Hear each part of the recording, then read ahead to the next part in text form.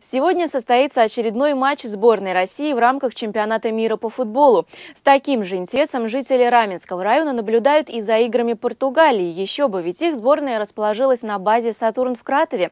Имя Криштиану Роналду знают все. А вот про город Ангра де Ираишму или монастырь Баталия слышал далеко не каждый.